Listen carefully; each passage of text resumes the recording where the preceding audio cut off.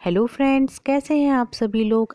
आज मैं आपके साथ में शेयर करने जा रही हूँ बिल्कुल परफेक्ट चाय बनाने के लिए चार सीक्रेट टिप्स को। तो चलिए स्टार्ट करते हैं। मैंने लिया है एक पैन इसमें मैं डालूँगी डेढ़ कप पानी, क्योंकि मुझे दो कप चाय बनानी है तो उसके लिए मैं डेढ़ कप पानी ले रही हूँ। और जब पानी में बबल्स आने लगेंगे, जैसे ही आप इसमें आप देखें बबल्स आ रहे हैं, तब आप अपने मसाले इसमें ऐड करें। मैंने इसमें डाली है दो इलायची, वो भी कूट के और अदरक। अदरक को भी हम कूट के डालेंगे। तो इस तरीके से मैंने कूट लिया और इसमें डाल दिया। तो सबसे पहले हमें गैस का फ्लेम तेज करके इसका फ्लेवर इसके पानी के अंदर लाना है। आप यहाँ पे लौंग, काली मिर्च का भी यूज़ कर सकते हैं। तो जब इसके अंदर मसालों का फ्लेवर आ जाए तब हम इसमें ऐड करेंगे चाय पत्ती। और आप देख रहे हैं, जैसे ही मैंने इसमें डाली, वैसे ही ये एकदम से ऊपर उठ के आई। ये बहुत ज़रूरी है। इसी तरीके से ये अपना फ्लेवर एकदम से उसमें छोड़ती है। तेज़ पानी में जब हम खोलते हुए चाय पत्ती डालेंगे, एकदम फ्लेवर ऊपर आएगा। और चाय पत्ती के साथ में ऐड करेंगे चीनी। चीनी कभी भी आप दूध के साथ में ना डालें, वो दूध को पतला कर देगी।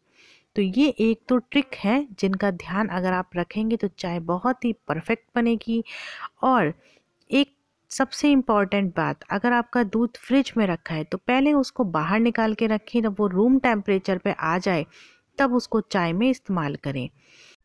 क्योंकि अगर हम ठंडा ही दूध डालेंगे डायरेक्ट इसमें तो क्या होगा कि इसमें से जो घी की ड्रॉप्स हैं, वो चाय के ऊपर आ जाएँगी और वो बिल्कुल भी अच्छी नहीं लगेंगी देखने में।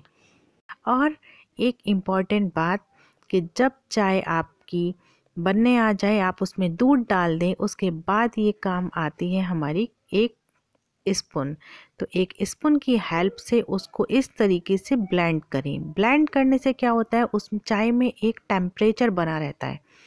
और उसमें ब्लेंडिंग बहुत ज़रूरी है, इससे टेस्ट भी इसका बहुत ही बढ़िया आता है। आप देखते हैं ना, कहीं पे भी आप बाहर चाय पीते हैं तो वो उसको एक करछी से चलाते रहते हैं तो बस यही इसमें एक ट्रिक है। तो चलिए, अब बन गई है, अब कर लेते हैं हम इसे अपने कप के अंदर।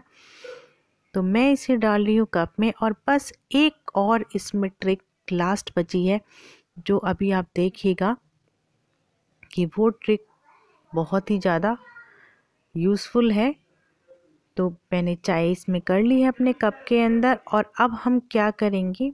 मेरे पास है थोड़ा सा इलायची और दालचीनी का पाउडर जो हल्का सा वन वन पिंच में इसके ऊपर स्प्रिंकल कर रही हूँ। बस, अब जब आप कप लेके और इसको पियेंगे तो बस आपके नोज़ के पास में जाते जो इसमें से एरोमा आएगा ना, फ्लेवर वो बहुत ही मस्त होगा।